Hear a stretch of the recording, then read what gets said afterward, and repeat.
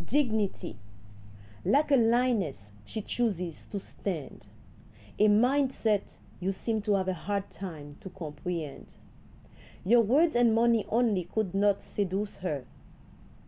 You may have taken away now a shelter, but with her remains a sense of dignity.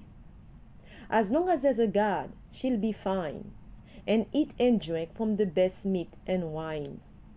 Today, even challenged, she remains at peace, standing on her Creator's promises.